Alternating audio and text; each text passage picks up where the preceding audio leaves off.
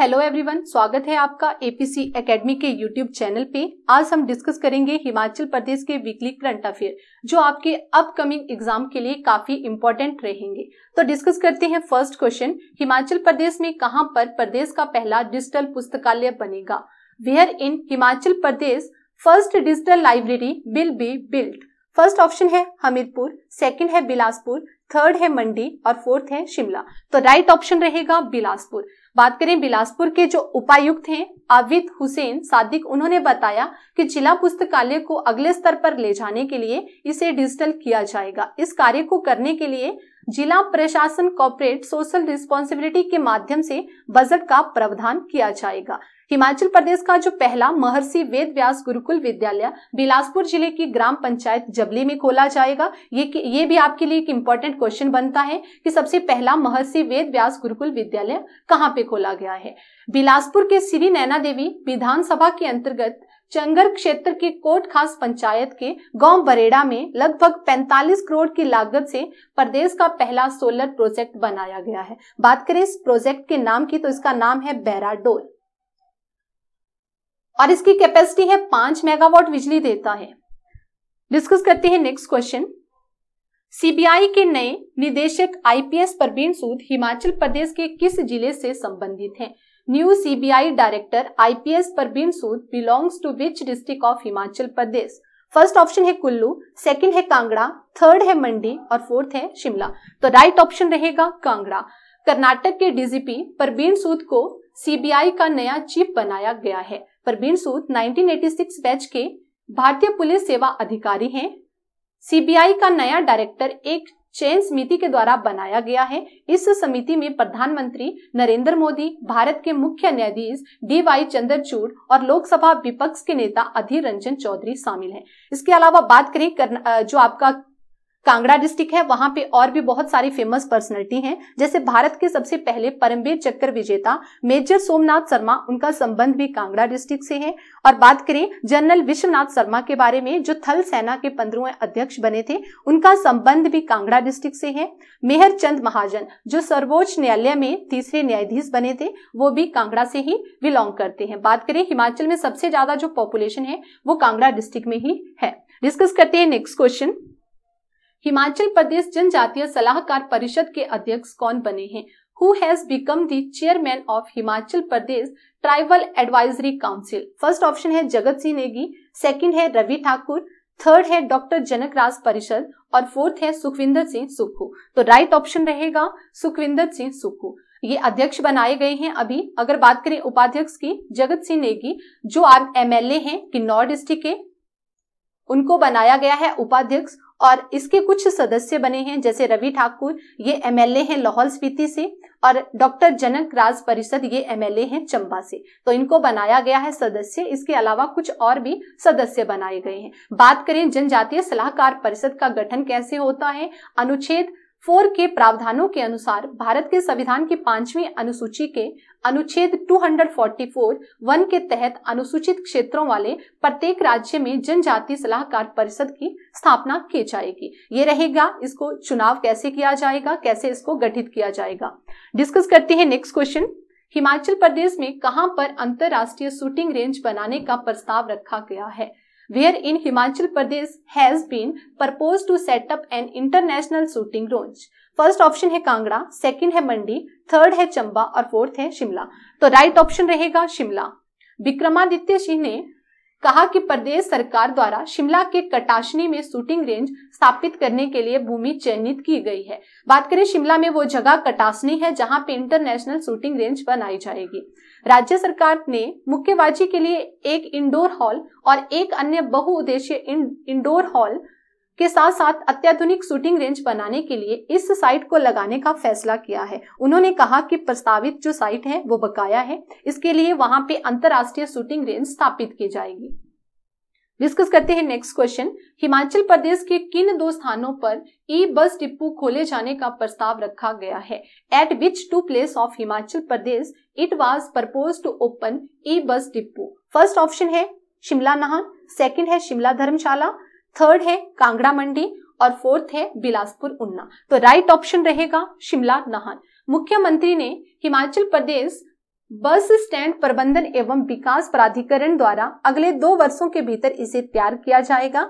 इसके अतिरिक्त हमीरपुर ज़िले के नदौन में ई बस डिपो के निर्माण के लिए ज़मीन चिन्हित की गई है। इस बजट में सीएम सुखविंदर सिंह सुक्खू ने कहा कि कई घोषणाएँ की और बजट में उन्होंने ऐलान किया कि हिमाचल प्रदेश में अगर कोई प्राइवेट ऑपरेटर इलेक्ट्रॉनिक बस या ट्रक खरीदता है तो उसे 50 प्रतिशत सब्सिडी दी जाएगी। इसके अलावा अभी आपका 2023 और 24 का जो बजट आया है, इसमें कुछ और भी घोषणाएँ की गई हैं मुख्यमंत्री सुखविंदर सिंह सुक्खू के द्वारा। डिस्कस करते हैं नेक्स्ट क्वेश्चन। हिमाचल प्रदेश में कितने रामसर स्थल हैं? How many Ramsar sites are there in Himachal Pradesh? First option है टू सेकंड ऑप्शन है थ्री और थर्ड ऑप्शन है फोर और फोर्थ ऑप्शन है फाइव। तो राइट ऑप्शन रहेगा थ्री बात करें कौन कौन सी तीन रामसर साइट्स हैं तो फ़र्स्ट है रेणुका जी। इसको रामसर साइट डिक्लेयर किया गया था 2005 में। दूसरी साइट है पोंग डैम इसको डिक्लेयर किया गया था 2002 में। इसके बाद थर्ड वाली है चंदर ताल झील, इसको डिक्लेयर किया गया था 2005 में। रेणुका है सिरमौर डिस्ट्रिक्ट में। पोंग डैम है कांगड़ा डिस्ट्रिक्ट में। और चंदर ताल झील है लाहौल स्पीति डिस्ट्रिक्ट में। बात करें बेटलैंड के बारे में, ज़मीन के उस हिस्से को कहा जाता है जहाँ पर पानी और ज़मीन आपस में मिलते हैं, उसे बेटलैंड कहा जाता है। अगर बात करें भारत में कुल रामसर साइट्स की तो 75 रामसर साइट्स हैं पूरे भारत में। और सबसे पहले जो रामसर साइट थी, वो चिल्का लेक को बनाया गया था। जो चिल्का लेक है, वो आपके उड़ीसा में है। और सबसे बड़ा जो बेटलैंड था, वो सुंदरवन है, पश्चिमी बंगाल में पड़ता है। डिस्कस करते हैं नेक्स्ट क्वेश्चन। हिमाचल प्रदेश के किस राष्ट्रीय उद्यान में मोनाल की संख्या बड़ी है? In which national park of Himachal Pradesh the number of monal has increased first option है Pin valley national park second है ग्रेट हिमालयन नेशनल पार्क और थर्ड है सिंबलवाड़ा नेशनल पार्क और फोर्थ है इंद्र किला नेशनल पार्क ये सारे के सारे नेशनल पार्क हिमाचल में हैं, और ये सारे के सारे हम अलग अलग करके इनको डिस्कस करते हैं. पिन वैली जो नेशनल पार्क है, ये आपके लाहौल स्पीति डिस्ट्रिक्ट में है? ग्रेट हिमालयन नेशनल पार्क ये आपके कुल्लू डिस्ट्रिक्ट में पड़ेगा और इंद्र किला भी कुल्लू डिस्ट्रिक्ट में है और सिंबलवाड़ा है सिरमौर डिस्ट्रिक्ट में। चार हमारे नेशनल पार्क यहाँ पे डिस्कस हो गए पांचवा की बात करें तो पांचवा है खीर गंगा ये भी कुल्लू डिस्ट्रिक्ट में है। उसके बाद अभी वर्तमान में जो बना है वो है गोपालपुर। गोपालपुर पड़ता है कांगड़ा डिस्ट्रिक्ट में जो आपके धौलाधार ने, नेचर पार्क था उसका ही नाम बदल के गोपालपुर को नेशनल पार्क बनाया गया है। अब टोटल बात करें तो पहले पाँच थे प्लस वन हो गया।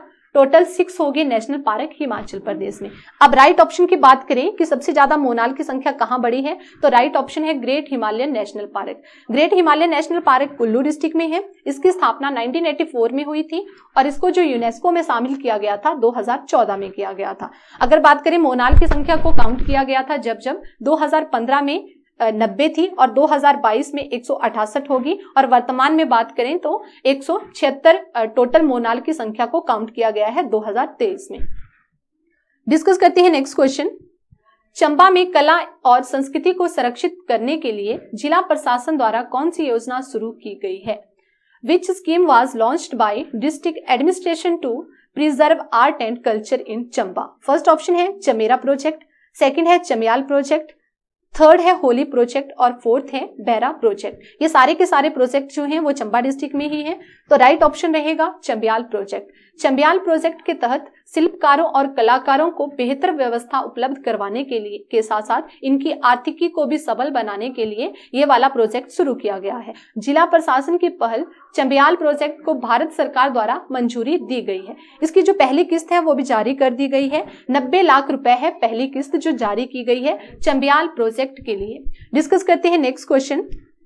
हिमाचल प्रदेश की पहली एडवांस लाइफ स्पोर्ट्स एंबुलेंस किस ज़िले में परिचालित होगी? Himachal Pradesh first advance life support ambulance will be operational in which district first option है शिमला सेकंड है हमीरपुर थर्ड है बिलासपुर और फोर्थ है उन्ना। तो राइट ऑप्शन रहेगा बिलासपुर। बिलासपुर के उपायुक्त आविद हुसैन सादिक का कहना है कि एडवांस लाइफ स्पोर्ट्स एंबुलेंस सेवा जल्द ही बिलासपुर में शुरू की जाएगी। इसके लिए तैयारियाँ शुरू हो चुकी हैं। यह hi tech ambulance corporate social responsibility के माध्यम से परिचालित की जाएगी। इससे पहले हमने डिस्कस किया कि जो ई लाइब्रेरी है, वो भी बिलासपुर में ही बनाई जाएगी। उसके लिए भी जो बिलासपुर के डीसी हैं, उनके द्वारा ये कहा गया। अभी यहाँ पे एडवांस लाइफ स्पोर्ट्स एंबुलेंस की घोषणा की गई है। हिमाचल का अब एकमात्र जो एम्स है, वो बिलासपुर में है। इसकी जो नींव रखी गई थी 2017 में रखी गई थी और 2021 में ये बनकर तैयार हो गया था। वैसे तो ये 2020 में बनकर तैयार हो गया था, पर 2021 में इसकी ओपीडी को शुरू किया गया था। डिस्कस करते हैं नेक्स्ट क्वेश्चन एचपीसीएल कहा 500 करोड़ रुपए की एथेनॉल प्लांट स्थापित करेगा? Where will HPCL set up an ethanol plant worth 500 crore? First option है कांगड़ा सेकंड है उन्ना थर्ड है बिलासपुर और फोर्थ है चंबा। बात करें एचपीसीएल की full form Hindustan petroleum corporation limited. तो इसका राइट जो ऑप्शन रहेगा वो है उन्ना। उन्ना ज़िले के जीतपुर बहेरी में 500 करोड़ रुपए की लागत से एथेनॉल संयंत्र स्थापित किया जाएगा। कंपनी के आग्रह पर मुख्यमंत्री ने जिला प्रशासन को प्लांट के लिए 20 एकड़ ज़मीन उपलब्ध करवाने के निर्देश दिए हैं। इसके अलावा जो उन्ना है, वो बहुत इंपॉर्टेंट डिस्ट्रिक्ट है। अगर बात करें हिमाचल का सबसे लंबा वाला पुल तो वो भी आपके उन्ना डिस्ट्रिक्ट में है। उसका नाम है हरोली और इसकी लेंथ है सेवन सेवन थ्री मीटर या सेवन सेवन फोर मीटर इतना लंबा है, पहले इससे पहले हुआ करता था यमुना पुल। यमुना था आपके सिरमौर डिस्ट्रिक्ट में, अभी जो बना है वो उन्ना डिस्ट्रिक्ट में बना है। इसके अलावा उन्ना में हिमाचल का पहला बलक ड्रग पार्क स्थापित किया गया है। साथ में हिमाचल का पहला मेगा फ़ूड पार्क को भी यहीं पे स्थापित किया जाने की घोषणा हुई है। चलते हैं नेक्स्ट क्वेश्चन पे। ये है आपको पिछली वीडियो का क्वेश्चन आपने इसका आंसर जो है वो कमेंट बॉक्स में करना है। शिमला नगर निगम में कुल बार्डों की संख्या कितनी थी? What was the total number of wards in Shimla municipal corporation first option है थर्टी सेकेंड ऑप्शन है थर्टी फाइव थर्ड ऑप्शन है थर्टी फोर और फोर्थ ऑप्शन है थर्टी सिक्स तो आप कमेंट बॉक्स में आंसर लिखेंगे। ये थी हमारी आज की वीडियो अगर आपको वीडियो अच्छी लगी हो वीडियो को लाइक करें शेयर करें कमेंट करें और हमारे यूट्यूब चैनल को सब्सक्राइब ज़रूर करें। Thanks for watching